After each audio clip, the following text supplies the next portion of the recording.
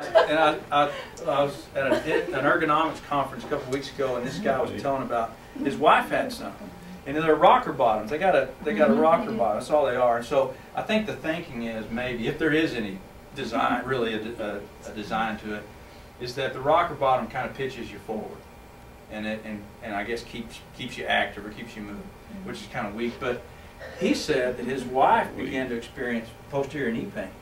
And the reason is because of the rocker bottom, you're either moving forward or you're rolling backward. And when she stood for a long time, it just kind of kicked her into this Oh, in this hyperextension here. know they did. So he, he got her out of She was out of balance. yeah, that's really that's exactly what it is. So. All right, so let's let's move along. Uh, ACSM risk stratification guidelines. So we want to know how in, intensely to exercise for the benefits, but we also also want to know how intensely to exercise to avoid the risk, to make sure that we're safe. So ACSM has come up with with those two, and what they've basically done because they, they, they've relied on the coronary risk factors to determine how safe it is to exercise. And this is why. If you get to exercise and you may pull a muscle, you may even break a bone, generally you're going to recover from that. But if you blow your heart up, that's kind of hard to recover from. And so really exercise intensity uh, principles are basically based on how healthy your heart is. So the coronary risk factors. We're going to blow through them first and then we're going to come back and I want you guys to count how many you got.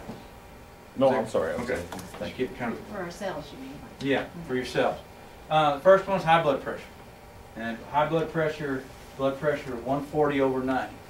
And it, if you have one but not the other, let's say your blood pressure is uh, 125 over 96, you've got high blood pressure. Now, we, we did, a minute ago, we kind of specified that this has to be uh, over more than one reading.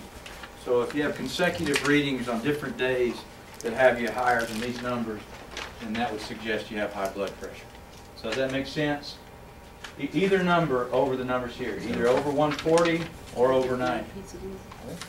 And That, that top number is your, your systolic, the bottom number is your diastolic. And you know what that represents? Squeezing, Mm. Yeah. systolic and rest. That's right. Systolic when your heart's contracted, and the systolic, the bottom number is the blood pre- the pressure when your heart's relaxed. Okay, so next cor, oh, went back. Next coronary risk factor, of which there are eight, there are eight. So abnormal blood cholesterol. That can mean you have a, a total cholesterol over 200, or it can refer to your, your LDLs, which is your bad cholesterol, right? If that's over 130, you have abnormal cholesterol. Of your HDLs, we want, those are good, that's the good cholesterol, we want those, so a low number is bad. So if you're under 40, then you have abnormal blood cholesterol.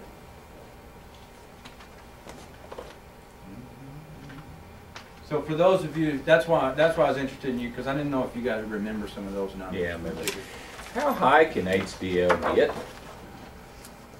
Uh, you know what, you can actually, if your HDL is over sixty, they actually will take a, a, a risk factor off. You can reduce it by one. So it- that, optimally, you want your HDLs over sixty, but I think the normal range is between forty and sixty. Mine's seventy-three. And the HDL is the good. That's the Yeah, good good. cholesterol. And that's really exercise that gets it to that level, right? Yeah. Okay. Yeah. Exercising is, exercise and diet are the two things that Yeah, affect your yeah, okay. cholesterol. All right, everybody cool with that?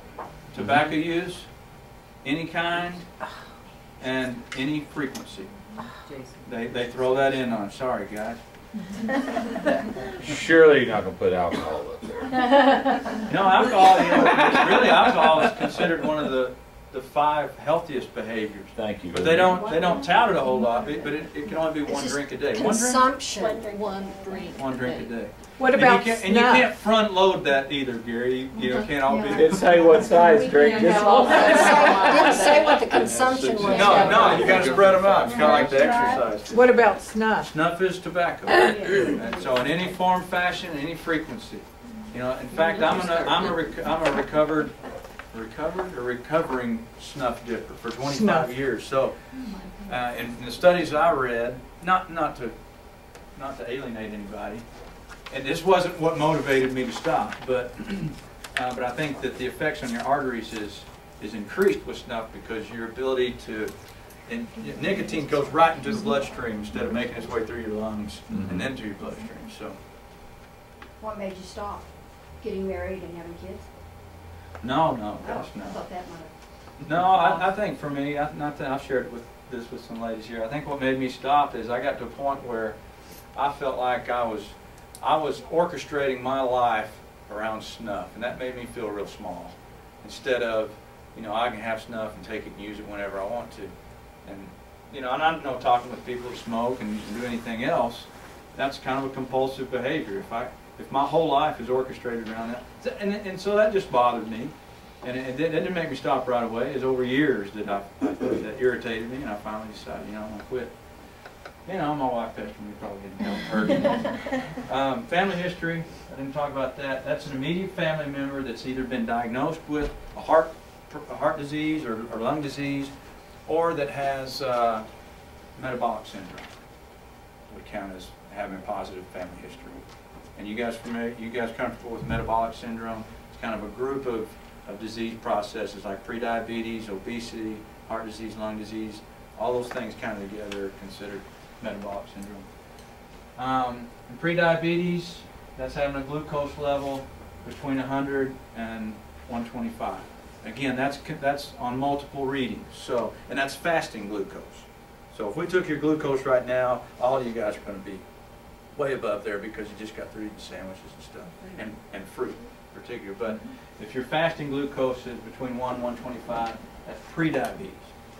Diabetes is having glucose over 125. Again, multiple readings. And then uh, sedentary lifestyle, which, um, man, I can't, I mean, you just, like you read that out of a book earlier, Diane. Oh, well, you said So- it last week or last time. And, and, and that's really, that's the, that's the, the minimum amount, basically, is to exercise three days a week for thirty minutes. Other, than- if you can't get that much in, then you're considered sedentary, and that's not a, you're not name calling, that's just, you know, in the medical world, that's, you don't get a whole lot of activity. And then, uh, obesity. Obesity is having a BMI that's equal to or greater than thirty kilograms per meter squared. And did your, did they put your obesity levels on, I mean, obesity, sorry, your BMI levels on, on that sheet? Okay. Yes, they did. If you, another way to get it, because some of you know that, that the BMI score can be a little bit inaccurate if, uh, if you have somebody that's kind of carries a lot of, a lot of mus- muscular weight. Because really all it is, is it's a, it's a ratio of height versus weight. So if you got somebody that's very heavy because they're carrying a lot of muscle, like that knucklehead in here we saw a minute ago, then he's gonna have a very high BMI.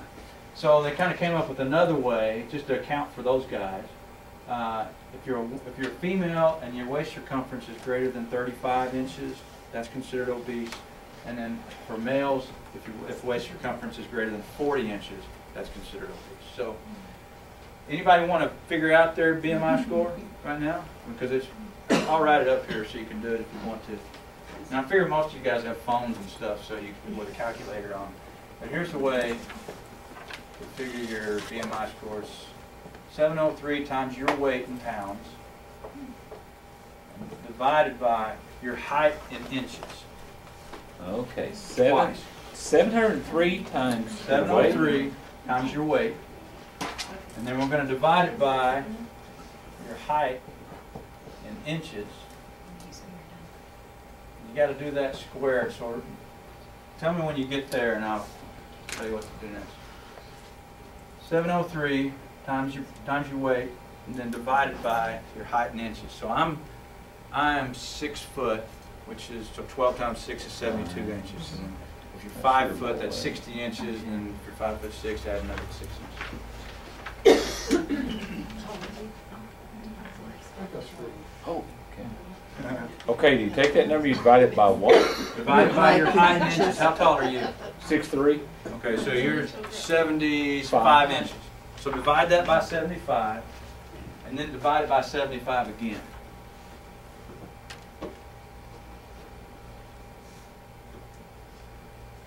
And nobody, don't, don't blurt out your BMI score. Well, I barely made it. All right. Well, over, 30 and over is considered obese. Between 25 and 30 is considered uh, uh, overweight, and then I think it's nineteen point nine to twenty-four point nine is considered normal. Normal weight. Guessing the weight, I think. Is that all of them? Or- Oh, we got one more. You know, it's real good electronics. I'll let y'all. We we good on BMI? Seven oh three times your weight, divided by your height in inches, and then divided by your height in inches again, that's what Oh, it's square. okay, that's what Here, I'll just do it this way. First thing in the morning. And then divide by height in inches again. Pretty What was interesting. normal? What's that? What was Normal is uh, nineteen point nine to twenty-four point nine. Or actually, no, no, it's twenty to twenty-four point nine. Hmm. And I tell you, I'm a 25. So by those standards, I'm a hair overweight. Mhm. And I, and I, I mean, I, I carry a little bit, maybe a little bit more muscle than, than, uh, Does that mean presumptuous? yeah, than, than, than maybe the average guy for my weight. So I know that I'm okay. Yeah. But I also know I can stand to lose a few pounds too. So I think Yeah. it's pretty accurate. Good. But isn't there some deal that some people are bigger boned than other people and they don't carry? Absolutely. And I mean, if I went on that chart, I have to move to Africa and lose those kids if I weighed what they did. I'd be that. I mean, there's no way my height I can be 170 pounds. I That would think. seem, yeah, that's, that's not It's right. little We need to extreme. figure yours Yeah. again. So But There's that's, just no that's way. what, because see, I, my, my weight, at one eighty-six, I'm normal weight. So I, Yeah. I think we need to figure yours again. Yeah, because that's. Well, I just look at some of those charts they have now. but- Yeah, and you gotta remember, these are just stan, I mean, Yeah, basically, I there's just looked at, different hun- you know, people, thousands and different. thousands of people, and they're, and they're making determinations of that. So Yeah. you use this stuff as a guideline, Yeah. because we know everybody's a little unique. Okay, so here's the thing I wanna kind of, oh, we got one more, age. Yeah. Age, if you're female, I mean, if you're male, I'm sorry, 45, if you're over 45, you have a risk factor. Yep. And if you're female, over 55, you have a risk factor. So, I think it's it, it warrants, look at this stuff. Lower that How many of these males. things can you, can you do nothing about? Family history, Family history and age. age. Just two. Age. So, six of the eight are really behavior oriented. You can control them. So I think, I mean, that's, that- if there's really no take-home message, I mean, that's the take-home message today, really more so than anything else. That the lion's share of our coronary risk is based on our behavior. Okay, so, low risk, what does that mean? Someone, someone who looking at those eight coronary risk factors is asymptomatic, meaning they don't have any heart problems, they're not, they're not having shortness of breath, they're not uh, having chest pain, angi- angina. If they go up the stairs, they're not unduly, you know, taxed and winded from that. So you're asymptomatic, you have no more than one coronary risk factor. So, you know, you can have family history, uh, but nothing else. You can be a low risk. And what that means is you can do anything you want.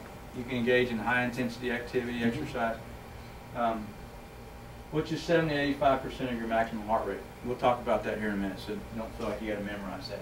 But what I do want you to do is identify which risk category you fall in. Am I low risk? Am I moderate risk? Am I high risk? Moderate risk is somebody who's asymptomatic again, no signs or symptoms or problems. They have two or more uh, risk factors. And I would guess that that is the majority, if not all of us.